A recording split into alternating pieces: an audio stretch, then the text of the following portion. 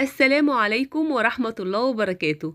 النهاردة هنعمل مع بعض وصفة روعة للبشرة بمكون غني جدا ومفعوله سحري. هيفتح البشرة وهيقضي على التجاعيد وعلامات تقدم العمر.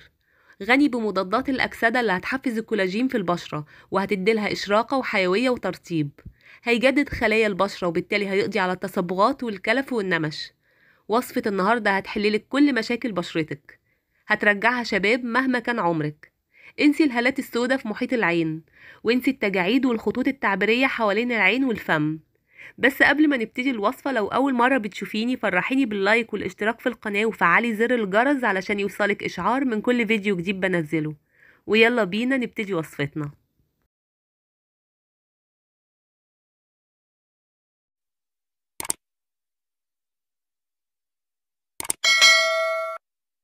المكون الرئيسي معانا النهاردة هو الشاي الأخضر غني بمضادات الأكسدة اللي بتحمي خلايا البشرة وبتجددها وبيساعد على تفتيح لون البشرة والحفاظ على نضارتها وحيويتها وبيدي الجلد نعومة ومرونة وبيخلصنا من الهالات السوداء في محيط العين.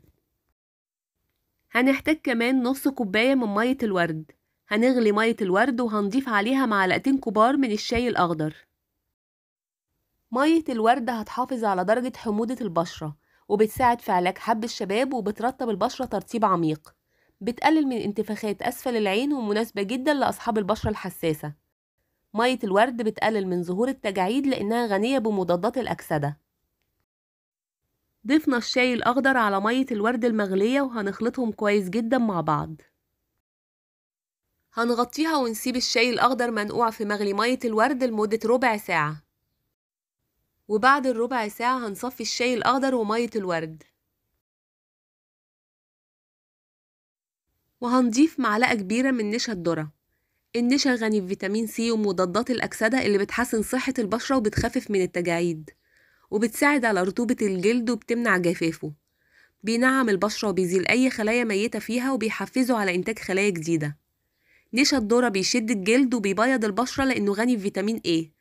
اللي بيفتح البشرة وبيخفف البقع الداكنة. وبيعالج حب الشباب والبثور لأنه غني بمادة الزنك.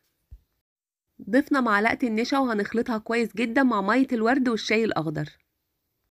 وهنضيف عليهم معلقة كبيرة من دقيق الرز. بيساعد على تفتيح البشرة لأنه غني بالأحماض الأمينية والفيتامينات المفيدة جدا لصحة الجلد. وبيساعد في تقشير طبقة الجلد الميتة وبيدي البشرة ملمس ناعم وصحي. بيشد الجلد وبيأخر ظهور التجاعيد والخطوط الدقيقة. كمان بيقضي على البقع الداكنة وحب الشباب والبثور. ضفنا معلقة دقيق الرز وبنخلط كل المكونات كويس جدا مع بعض. وهنرفعهم على نار هادية مع التقليب المستمر لمدة خمس دقايق لحد ما قوامهم يبقى متجانس وكريمي.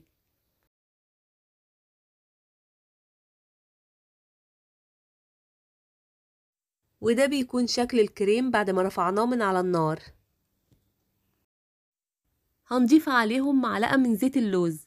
زيت اللوز بيناسب كل أنواع البشرة حتى البشرة الحساسة.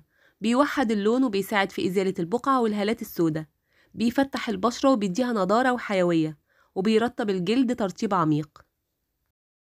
غني بمضادات الأكسدة فبيجدد خلايا البشرة وبيحارب التجاعيد.